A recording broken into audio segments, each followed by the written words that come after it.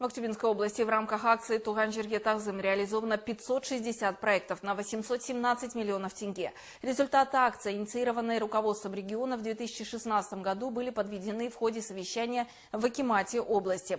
Практически во всех районах области ведется целенаправленная работа в этом направлении. На внебюджетные средства ремонтируются школы, детские сады, дороги, строятся тротуары и мосты, улучшается материально-техническая база учебных заведений, предприниматели дарят землякам спортивные спортивные площадки, дома культуры. Активное участие в акции принимают представительницы женского бизнеса, которыми к 25-летию независимости Республики Казахстан проведены 25 благотворительных мероприятий и оказана помощь нуждающимся.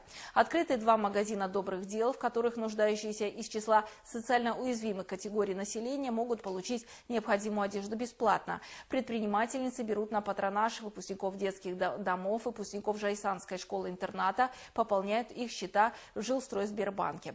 Вместе с тем глава региона считает, что работа в данном направлении ведется недостаточно активно и при желании можно было бы решить куда больше социальных проблем с помощью неравнодушных жителей области. Усилить работу в этом направлении Бердибек Сапарбаев поручил именно в районах.